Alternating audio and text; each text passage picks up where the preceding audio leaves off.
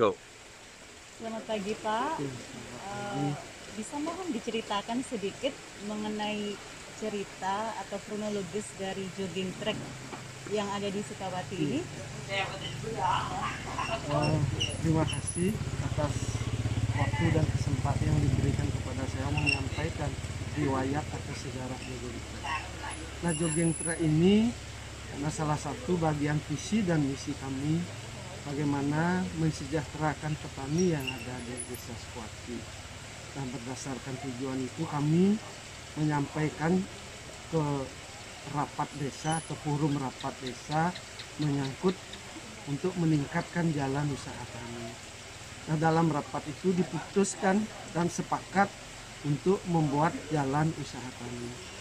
Setelah disepakati di desa, kami sosialisasi turun ke lapangan menyampaikan ke petani untuk membantu dalam hal pembuatan jalan usaha kami.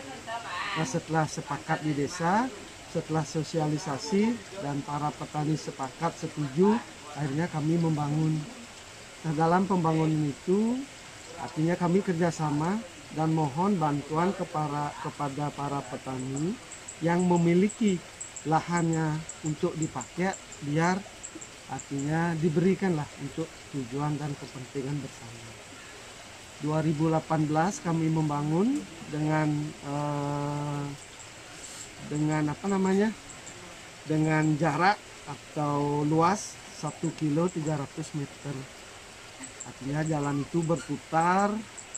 Setelah selesai 2018 program ini adalah program inovasi desa.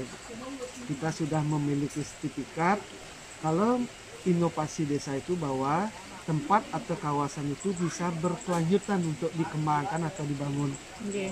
Nah, setelah 2018 kami mengembangkan lagi menuju ke Sungai Tangkit. Itu kira-kira 450 jaraknya dengan menghabiskan biaya 285. Setelah 2019 kami sudah memiliki dua tahapan, satu berputar, satu lurus menuju Sungai Tangkit. Nah sekarang karena menjadi inovasi desa wajib kami mengembangkan atau menata. Benar. Nah dalam 2019 itu lanjut 2020 kami mengembangkan tempat yang ada di bawah dengan membuat jembatan, eh, rumah pohon dan tempat-tempat eh, rekreasi yang memang diinginkan dibutuhkan oleh masyarakat di sekitar Sukawati dan eh, tempat yang lain atau orang tamu yang lain. Nah setelah itu mulai ya 2019 ini agak ramai sudah pengunjung dari desa Sukawati dan luar desa Sukawati. Karena memang dari awal tujuannya eh, jalan usaha kami, kami ubah nanti menjadi jogging track pengembangan desa wisata.